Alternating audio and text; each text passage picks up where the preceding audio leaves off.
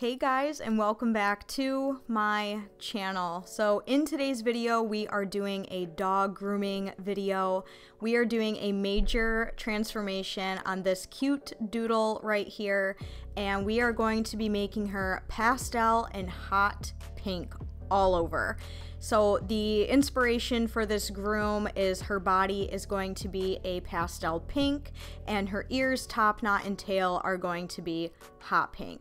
This groom took me a little over four hours to complete, and the very first thing that I wanted to do with her is get some of the prep work out of the way because, yes, this is a creative groom, but we also need to do the usual grooming. So I am taking my 10 blade and I am doing her sanitary or potty areas where I go around the anus, the vulva, uh, the tummy area, just the regular usual sanitary areas that we do.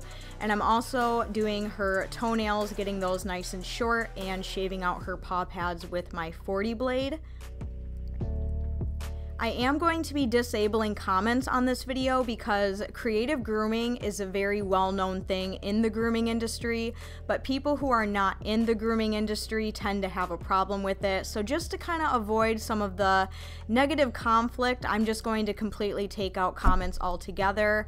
This specific dog has been getting groomed since she was eight weeks old and she's around five to seven years old now.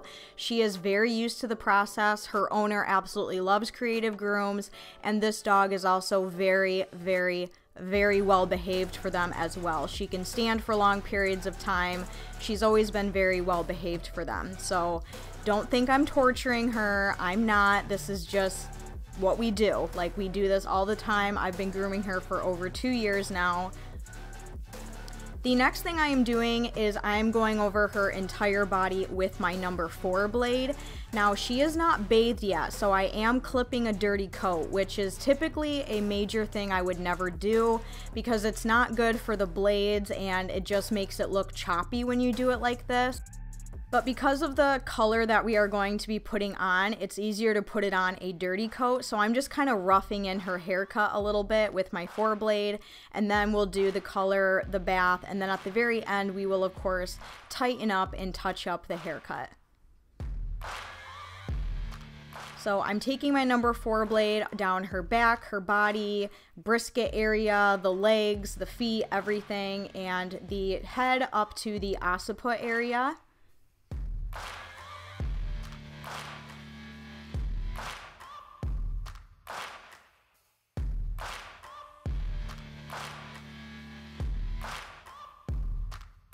And because this is a very time consuming thing, not every dog is a good candidate for creative grooms. If you have a dog that you want to get a creative groom on and they are very wiggly, unruly, or not used to getting groomed, there's no way that this would be possible. She is one of my only clients that I can do this with because she is so used to the process and she's so well behaved and she's been getting groomed for literally her whole life. So just keep that in mind that if you do want something like this, make sure you are starting young with your dog and make sure you are getting them used to the process. So after the haircut is kind of roughed in, I'm going to start on the tail area. And the color I am using is from OPAWZ. This is not sponsored. I bought all of this color myself. All the color that I used and all the products was around $150. So it is very expensive to buy all of this stuff. And the color I'm using on her tail is by OPAWZ. It is a semi-permanent color and it is in the color Shocking Pink. So it's a very bright, hot, vibrant pink, and it's just absolutely beautiful. And this is going over her entire tail. Now, the color that I am using is by OPAWZ, like I said. It is 110% safe to use on dogs. There is no peroxide, bleach, um, no harmful chemicals. It is incredibly safe to use on dogs. I'm not using human color on her. I am using color that was formulated specifically for dogs.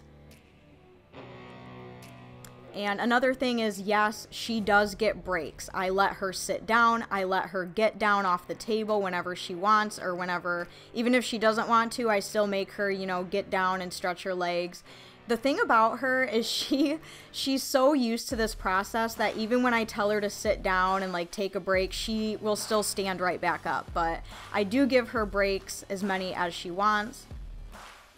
After the color is on her tail, I am just lightly wrapping it in with aluminum foil just to avoid any color transfer on the rest of her body. And while that is processing, I am moving on to her face. So yes, I did poodle a doodle. I am giving her a clean face with my number 10 blade. I just thought it would make the groom look cuter. And because I didn't feel comfortable using any color on her face directly, just because I didn't want to get it, like I didn't want her to ingest it or get it in her eyes. That's just a lot of color to go on the face. I decided to give her a clean face because I thought it would make her look a little cuter and I thought it would pull the whole groom together. And I am doing her face in a number 10 blade and you want to make sure you are changing your blades regularly because they do get hot and you do not want a hot blade on the face. So make sure you're switching your blades regularly when you are doing a clean face. Once I have her face shaved, I am going to be putting that same hot pink color all over her top knot area and on both of her ears. This was definitely time consuming. I think doing both of her ears and her top knot took over 30 minutes to put the color on because there is quite a bit of hair up there and you want to make sure you're fully saturating the color and getting it in there really, really nicely so that way when you rinse it out, it doesn't have any weird patchiness to it. And this is the only time where she kind of like squirms a little bit. She doesn't like her ears touched all that much. So I just try to let her rest her head on my arm while I'm painting the color on. And I just try to get it done as quickly as possible. I don't want to force her through it.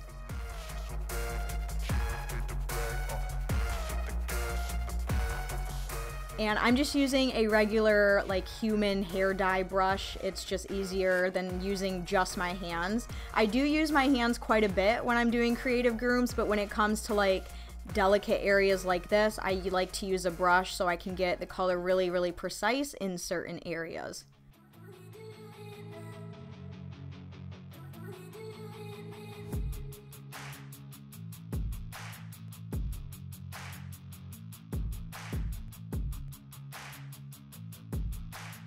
And I am just carefully holding her head still. I am not clenching her mouth shut or I'm not forcing her. I'm just holding her head still so she doesn't move her head and I put color in the wrong spot. And yes, you go through a lot of gloves when you're doing a creative groom because this stuff will stain your hands. So I go through quite a few pairs of gloves, that's for sure.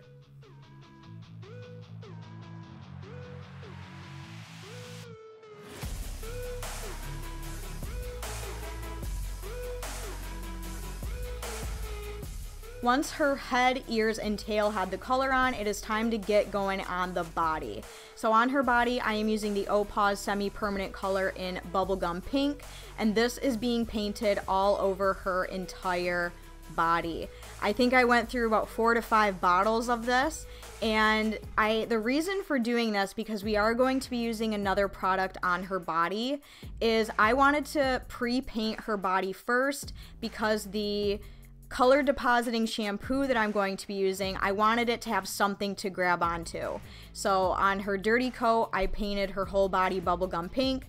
That way in the bath, after I shampoo her and then use the color depositing shampoo, those particles would have other pink particles to stick to, if that makes sense. And I really do think it helped because her body is supposed to be all pastel pink. And I feel like if I just use the color depositing shampoo, I feel like it wouldn't have worked as well. So I'm really glad that I did this first. This was incredibly time consuming going over the whole body like this.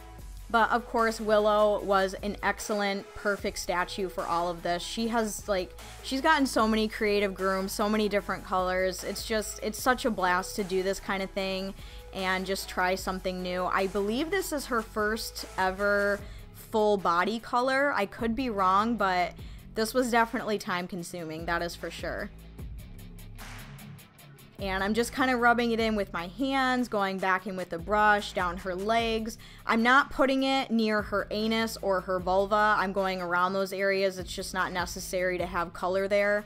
Um, but her legs, body, stomach, you know, all that is getting color.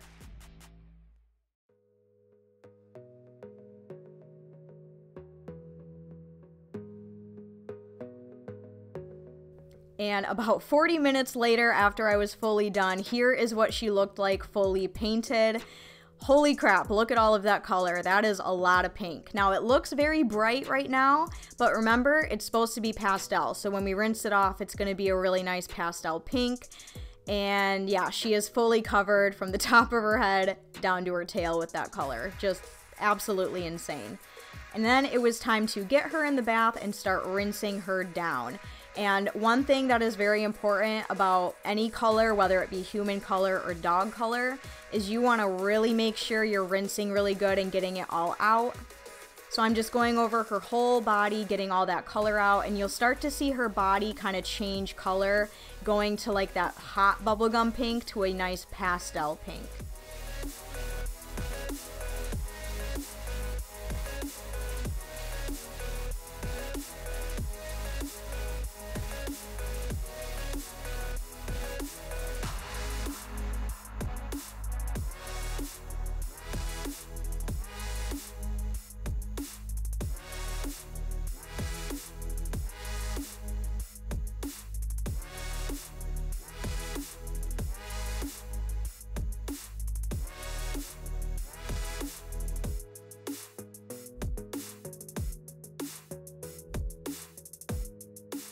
And then once I have most of the color rinsed out from before, I'm going over her whole body and shampooing it because I did start out on a dirty coat and to finish it, we need a nice clean coat.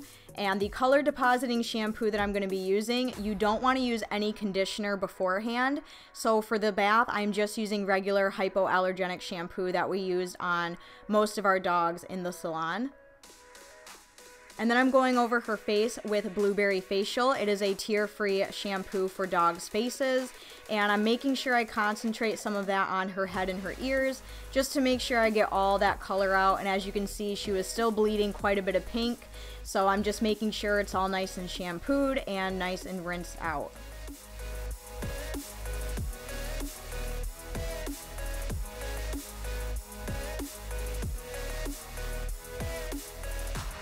And then I'm just going over her whole body again, making sure I get all the shampoo out. Again, checking to make sure that the water is running clear.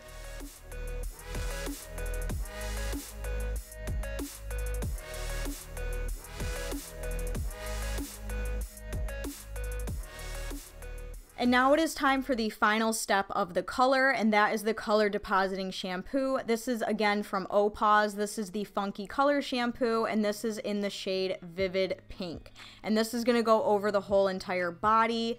Basically, it's a shampoo that deposits some color. I believe they make the same thing for humans, and on a damp coat, after she is shampooed, I am lathering her entire body up in this.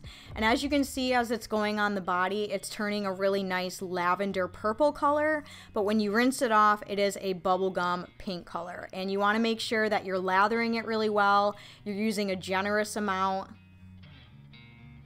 and I'm making sure I get her back, her neck, belly, legs, feet, like every area that I put the bubblegum pink color on, that's where I'm going to be putting the color depositing shampoo on. And I think it worked okay. It definitely smelled really, really good. Like, I absolutely loved the smell of this stuff. The one things that I don't like about it is it does have to sit for about 30 to 45 minutes, which kind of sucks. But one thing that Willow liked about it is she got like a full half hour massage. Because I had to rub it in her whole body, and I think she really enjoyed getting her whole body rubbed down. I'm sure that felt really good. And again, I'm just staying away from her private parts because it's just not necessary to put this product in her private part. So I'm just kind of focusing on her legs and her back and, you know, all that jazz. And for those of you who do not understand creative grooming, I really want to encourage you to look it up and just see how big and safe the industry is. Because I feel like a lot of people see a dog with color on and they automatically think neglect and animal abuse when that is not the case. So if you are someone who is not educated on creative grooming, I really want to encourage you to look it up and just get some more information on it. So after an hour of processing, rinsing, and drying, it is time for the final step of tightening up her haircut. So I'm going over her whole body again with my number 4 blade because when you pre-clip a dirty coat, after you bathe and dry it, that hair will fluff up because it's nice and clean. And you really want to make sure you're going over the whole body again, otherwise the haircut is just going to look really uneven and really choppy.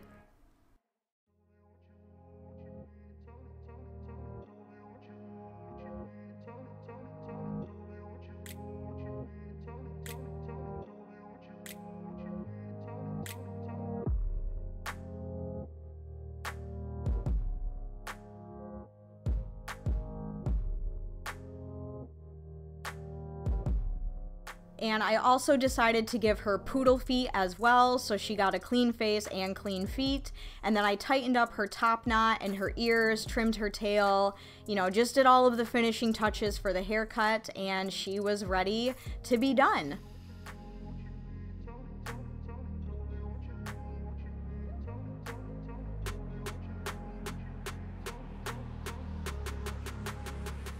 So after four, almost five hours of work, here is what Willow turned out like. She is a full pastel Barbie dog moment. This was a lot of fun. The one thing that happened, and this is just kind of what happens with dog color, some of the color stayed more on her elbows and her feet, so it looks a little bit kind of tie-dye choppy there. But here's what she looked like before, and we transformed her into this. Regardless of the tie-dye-ness on her feet and elbows, I think it looks really cute, and I'm really happy with the way it turned out and her body is just a really nice light pastel pink color. This was a lot of fun and the owner absolutely loved it. She did so, so good. I'm really happy that I got to do this and share this video with you guys. I hope you enjoyed. If you did, please go down and give this video a huge thumbs up. Please consider subscribing if you are new here. I would greatly appreciate it. As for the rest of you, I love you guys so very much, and I will see you very soon in my next video. Time to clean up! Bye!